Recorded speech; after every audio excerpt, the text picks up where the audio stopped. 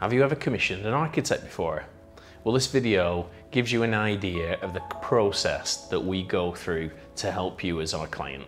Whether you have an existing building or a blank site for a new build development, I'm going to give you the process now from stage zero to stage seven of the RIBA plan of work to help you understand the process that you go through when you commission those architects. Once we've understood the brief, we can then put together a scope of services with a fee proposal that takes you from the beginning to end of the journey. Usually this is defined by two main stages, planning and building regs. Our fee proposals go through what we call DocuSign, which is a digital signing process, and we get all the elements out there at the beginning, such as the payment stages and what's included at those stages, so you are fully clear when to pay and ultimately what to expect. Once you've commissioned us and we're on board, where all systems go with a measured survey if it's an existing building or a site analysis if it's a new build development on a fresh piece of land. At this point, we will then be able to establish as-built information and it's our starting point for our sketch stage, the fun part. This is where we then develop the sketch options with plans and 3Ds, we can then take you through that journey of understanding the brief of what that would look like in sketch format, understanding it through a video call on Zoom, where we can actually walk you through the proposals in 3D, or you can come into the studio, meet the team and experience it in our virtual reality room, which is a fantastic experience for most because you can actually see it built with the goggles on and understanding the materials and the lighting in more detail.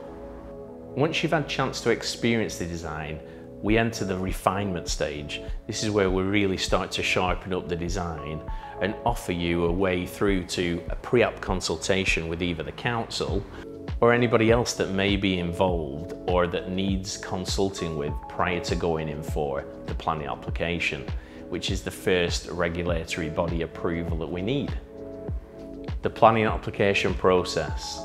Scary for some, but it shouldn't, and we can help you all the way through the application as your agent.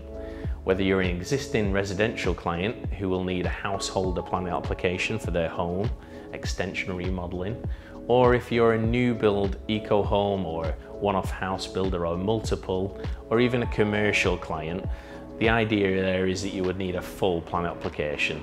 There are different variations. If you're commercial, you might need advertisement consent for signage, etc., or change of use, listed building application. Or if you're a new build homeowner, it's a full plan application, ultimately on a site, ready to go with an eight week planning process with the local authority.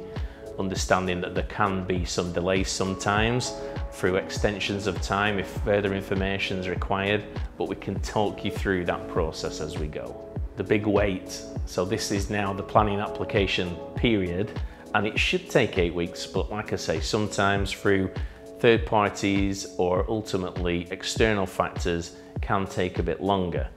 But either way, we help you through whether it be an objection through a consultee or a neighbour, or if the planning officer wants some changes, we'll help you compromise and make those decisions the best way forward for you to obtain the ideal outcome. The decision.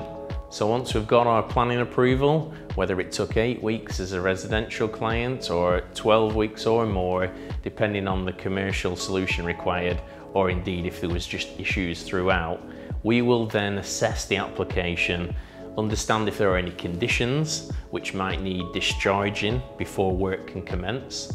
We can then provide you with a fee proposal for the second approval stage in any project in the UK, building regulations.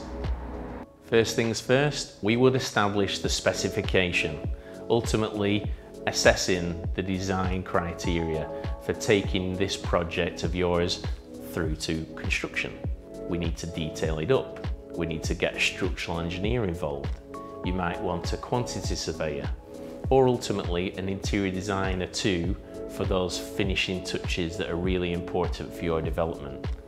We ultimately coordinate the project for you as lead architect on the job.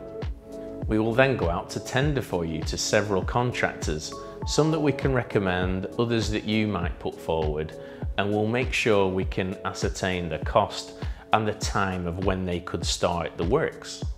Then the real fun begins, when they're actually on site undertaking the works, whether it's in your home or it's a new build development or it's ultimately a commercial development work in an existing building that's really important for your business. We can help at this point coordinate information flow, understanding what information is needed at key times, working with the building control officer and the contractor to ensure that your project is done as close to time and your budget as possible. There are always external factors at play, variables on site, and we'll always be there to try and help you understand that information and ultimately what comes next.